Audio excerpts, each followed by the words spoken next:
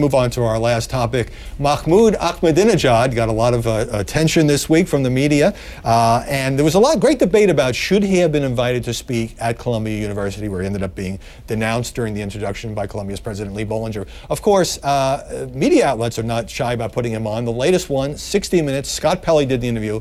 Let's take a look at that.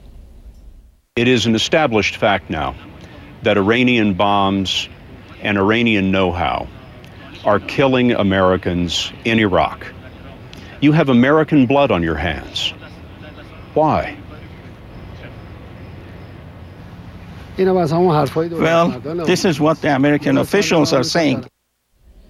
So, uh, could it be argued that journalists like Scott Pelley are giving this dictator a platform?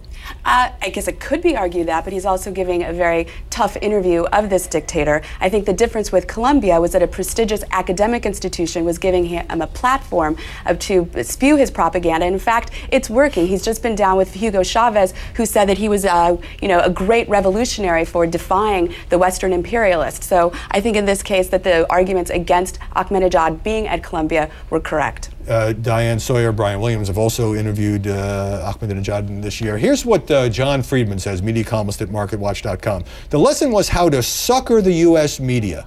The man played us for suckers, just like any PR-hungry celebrity who spins reporters and editors.